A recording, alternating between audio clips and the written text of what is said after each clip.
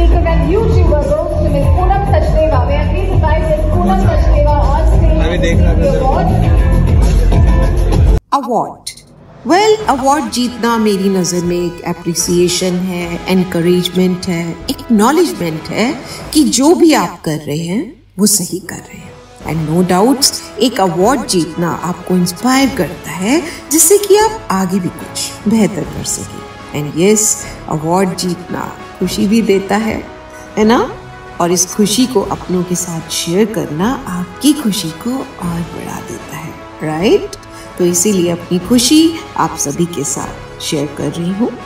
Well brands impact production के अंतर्गत national fame award the most promising motivational speaker and YouTuber का award जीतना मेरे लिए एक उपलब्धि है। पर यकीन मानिए, अगर मेरी बातें, मेरी वीडियोस चंद लोगों की लाइफ में थोड़ा सा भी पॉजिटिव चेंज ला सके ना तो वो मेरे लिए ज़्यादा बड़ी उपलब्धि है।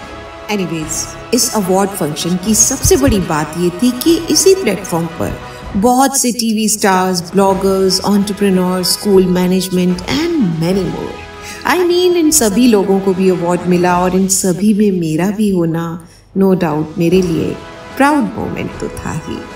रेड कार्पेट पर आना, फिर मुझसे जब पूछा गया कि एज अ मोटिवेशनल स्पीकर आपको आपके सराउंडिंग्स में क्या सबसे ज़्यादा मोटिवेट करता है तो मेरा जवाब था, एक बच्चा।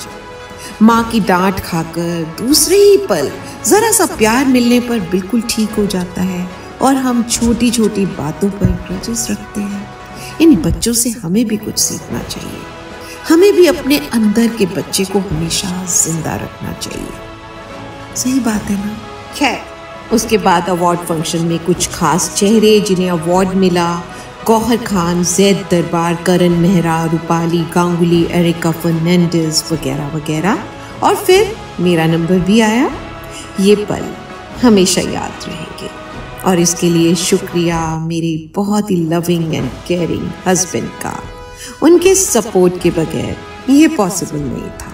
एंड फाइनली शुक्रिया ऊपर वाले का मुझे इस जगह तक पहुँचाने के लिए। आसमां से ऊँचे हैं मेरे सपने और मुझे अपने सपने। हकीकत में बदलने हैं, क्योंकि ये ऐसे सपने हैं जो मुझे सोने नहीं देते हैं।